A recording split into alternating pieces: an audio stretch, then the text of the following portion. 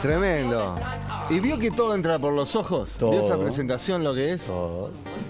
Pero el, el corte de, de los bordes Sí.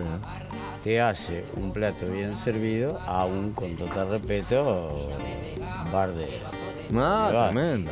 Porque hay Tremendo. una costumbre que lo dejan, y sobre todo el pan este de molde chico, si no le sacas los bordes, primero que no se ve de la misma manera, y lo otro que le da una terminación. Un pequeño detalle lo cambia todo, ¿no? La verdad. Muy bien. Bueno, bienvenido Juan Carlos. Como el fútbol, un pequeño detalle te cambia el campeonato. Un, un golcito ahí en el último minuto. Un error, Bueno, ¿Por un qué error no? ni que hablar, no claro. tenga ningún tipo de duda, o un gran acierto, pero no dejan de ser en definitiva este, pequeños detalles. Muy bien. Se viene el campeonato. Estamos a eh, siete días, una semana, Sí. del comienzo de la apertura. Sí, Hay novedades en el mercado de pases. Sí, hay novedades de Los Santos que lo quería Peñarol, que se va a Liverpool el zaguero. Y acá tenemos imagen de Sequeira, argentino, 28 años. Un jugador que ya está en Peñarol. Estuvo entrenando en la semana, quedaba a firmar el contrato y que lo presentaran, se ajustaron detalles. Peñarol no trajo en Sequeira y en otros a esa figura desequilibrante que todo el mundo parecía estar esperando desde fin del campeonato pasado hasta ahora que ya estamos en febrero. Pero trajo un conjunto de buenos jugadores. Porque acá con lo de Aqueroba, que también podemos tener algún gol de- del africano que al final no llega, Peñarol Baltaz, el representante amenaza con hacerle un juicio a Peñarol por cómo manejó y por alguna cosa que dijeron, o a Peñarol o a alguno dirigente puntualmente por declaraciones que hicieron. La sensación que te dejó fue lo que se habló. Se dijo, está arreglado, viene, llega el jueves. No vino, no estaba arreglado y está eh, hoy siendo presentado en México. Entonces eso le fastidia al hincha, eh, lo, lo pone en el tema y contra la cuerda los dirigentes que hablaron y lo dieron como por terminado. Hay de prolijidad de haber hablado antes, hay de prolijidad del africano de no haber atendido en un momento el teléfono, del empresario, de, de las últimas horas. Yo no estoy cláusula cláusula de cómo se llevó a cabo ni la contratación o el contrato que se iba a hacer, ni las conversaciones. Pero eso sí, deja desconcierto. Ahora, no dejan de ser jugadores para el medio y capaz para alguna actividad internacional. No estoy vendiendo espejito de colores de que Peñarol pelee la Libertadores ni nada por el pero es un plantel altamente competitivo. Después cada uno tendrá que rendir donde lo ponga el técnico y acertar a Aguirre en el equipo que coloca. Claro, cuando vos pensás que el africano llega y vos tenés hasta la expectativa que te dicen que Maximiliano Gómez podría venir a Uruguay a Peñarol aunque sea por seis meses y ninguna de las dos cosas se dan, el ánimo cae. Pero repito, Peñarol eh, tendrá ahora como primer foco Liverpool, con todo lo que eso significa. Un muy buen partido que Lune va a jugar por la Copa Uruguay en el campeón del siglo.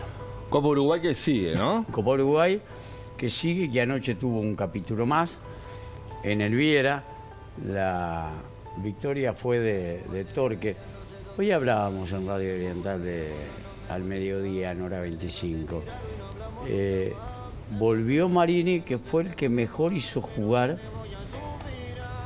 al equipo de Torque, con el estilo, con el trato en pelota. Después se fue, producto de que él mismo tuvo una gran oportunidad para irse al exterior. Y ahora vuelve, regresa. Un partido no es nada. Es más, Torque se preparó para este partido, pero Torque va a jugar en segunda división. O sea que todavía falta muchísimo para saber a ciencia, ciencia cierta cómo termina de formar el plantel, si vienen algunos jugadores más y cómo Marini plantea. Pero es meritorio lo que consiguió. Ayer frente a Deportivo Maldonado en el Viera y sobre todo esa llegada de Marini después de un tiempo para volver a un torque donde él lo hizo jugar muy bien en etapas anteriores. ¿Lo vamos a escuchar? Y a. Escuchamos a Marini. El primer tiempo fuimos ampliamente superiores, creo que tendríamos que haber marcado más diferencia en el resultado. Eh, después en el segundo tiempo, obviamente, un equipo que es muy duro, que, que- que tiene muy buenos jugadores, muy buen entrenador, eh, permitió que nos ataquen varias veces, pero soportamos esos embates y después ya tuvimos varias también contras como para liquidarlo antes. Nosotros estamos en un proceso de pretemporada, eh, nuestro objetivo es iniciar a lo mejor el 15 de marzo, el 3 de marzo, el 20 de marzo, el 29, no se sabe, pero bueno, es ascender. Y hoy por hoy disfrutar de esta Copa Uruguay también nos permite tener una competencia pre-torneo oficial que a nosotros nos viene muy bien. Y ahí estaba la palabra de Marini hablando de lo que significaba este partido y después lo que será la temporada para él. En la Copa Uruguay, donde puede seguir, se va a enfrentar a Barraca de Dolores, el único sobreviviente que tiene de OFI este campeonato. Y después lo que pueda pasar en segunda división.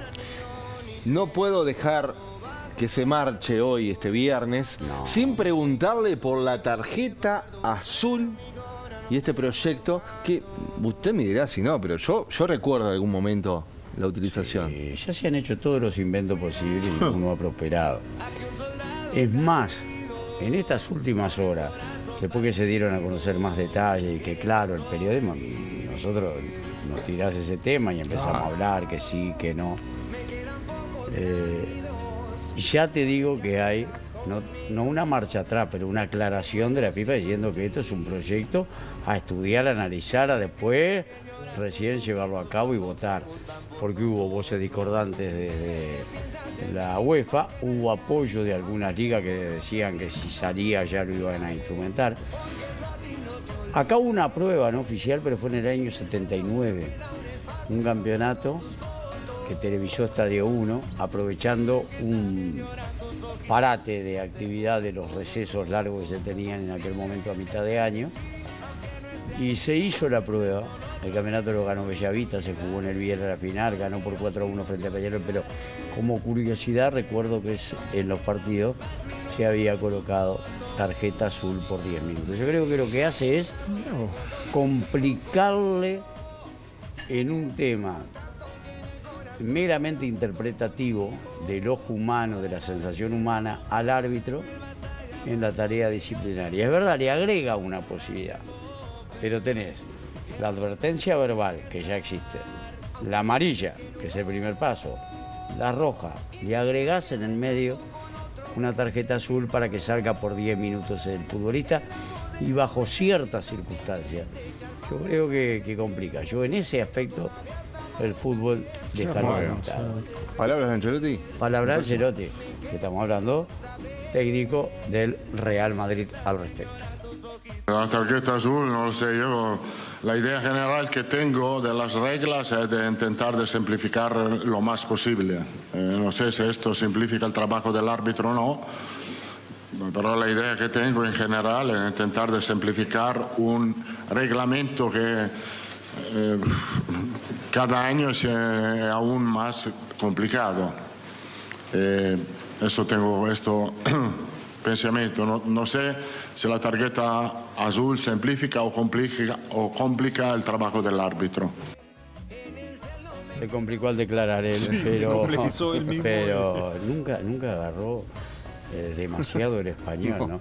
Hoy por hoy los, los eh, técnicos como los jugadores de primerísimo nivel te hablan todos los idiomas, pero él siempre le ha costado y mirá que ha estado en Real Madrid, en otros equipos y en otras versiones. Italiano de origen y también director técnico Muy a bien. nivel de toda Europa. Preolímpico. preolímpico. Un detalle, como dijiste vos, viste el sandwichito que todos están Sí. merodeando y que algunos supongo que nos va a quedar. Este, Dios mediante. viste el detalle para que, que- para que se coma eh, con mayor facilidad, para que te llegue, pequeño detalle. Bueno, acá hubo un detalle, un descuido. Paraguay estaba en París 2024, estaba clasificando a los Juegos Olímpicos. Se pone 3 a 2 en el minuto 90 y sin embargo en el minuto 98 Ay, qué horror. le empata Argentina, que queda muy mal parado igual, pero mantiene una remota chance. Lo mismo pasó con Venezuela. Venezuela estaba empatando y casi adentro. Eh, después en un partido muy polémico de incidencia de VAR se le anula un gol a Venezuela. Y en el minuto 88 Brasil lo gana. Paraguay estuvo por unos a unos segundos de clasificar. Se mantiene primero, tiene cuatro. Brasil con la victoria va a tres. Argentina queda con dos, Venezuela con uno y queda una última fecha. Pero mirá que cruces. Por eso todos mantienen chance. Oh. Brasil juega con Argentina, uno de los va a ir afuera. Y Paraguay con Venezuela, uno de los dos va a quedar por el camino. Muy bien. Nos Será vamos. hasta el lunes, Juan Bueno, Carlos. Un placer, ¿eh? bien. Y hablaremos más de la Copa Uruguay. Hablaremos del partido de la noche entre Liverpool y, y Peñarol. Es el lunes de noche, juegan a ocho y media. Muy bien. Nos vamos, volvemos el lunes como siempre, 16 y 30 horas por la pantalla de BTV. Y si no, Y si no, la repetición, amigos, como todos los días a las 10 de la mañana. Disfruten del fin de semana, feliz carnaval y recuerden siempre que somos BTV. somos bien de acá. Buen fin de semana. Chau, chau.